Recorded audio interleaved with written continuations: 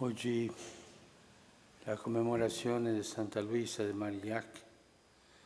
Preghiamo per le suore vicenziane che portano avanti questo ambulatorio,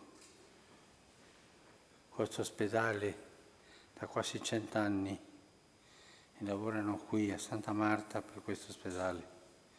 Il Signore benedica le suore.